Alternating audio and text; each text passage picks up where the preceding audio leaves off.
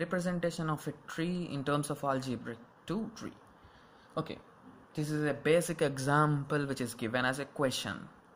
So whenever we will be trying to solve this we need to have a small idea that brackets about the main concept of brackets. Sorry even I do some mistakes. Okay now it's fine. So which is the main piece? This is the middle piece. Something like for all these whole brackets this is the separator between these brackets and third brackets so this is the separator. Okay done with this separator. So this is the right side. This is the left side. Okay fine. Now continue continue to find the separators on the well let's do this left side first and then let's go to the right side. Okay in this left part up to here what is the separator again? We are having the separator plus again plus. Again this is the left side this is the right side.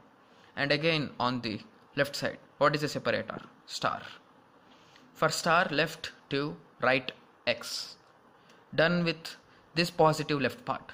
So let's come to this positive right part. Right part. Okay. Avoiding all the other parts. It's a bit tough to close it but it's fine. Okay. Again this separator is minus minus. Minus left. That's it. Minus right. Star will be the separate sorry multiplication will be the separator. 4 on the left x on the right. Fine.